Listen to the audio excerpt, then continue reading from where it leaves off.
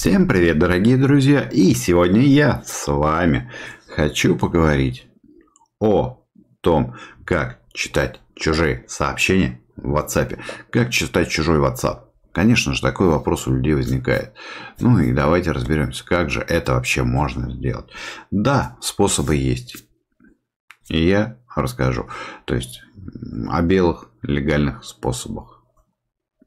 Первый способ number one, номер один, это просто попросить человека, сказать, слушай, браток, ну дай, пожалуйста, мне твой телефончик, я хочу почитать вот эту переписочку.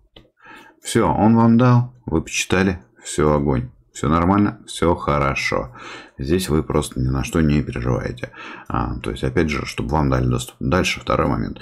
А, если вы находитесь в разных городах, хотите почитать переписку, ну, просите человека установить программу удаленного доступа. Раньше очень хорошо работала такая программа, как TeamViewer. Сейчас, а, если рассматривать, то, конечно же, рассматривать а, программы аналоги. Что я тут могу сказать? Программы аналоги есть. Какая из них лучше? Ну, вот здесь э, я вам не подскажу.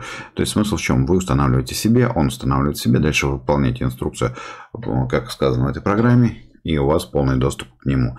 Также вы можете попросить, чтобы он заскриншотил вам чужую переписку. То есть, если вот э, в какой-то группе находится ваш товарищ, то есть, ну, вот у вас заскриншотено, то есть, переслать переписку вам могут. То есть, такие вот методы. Да и в конце концов, вы можете просто взять, подглянуть через, через э, вот читает человек в телефоне, да, вот так беспалево взяли, посмотрели одним глазком, а у вас уже есть понимание, о чем переписка, какая она.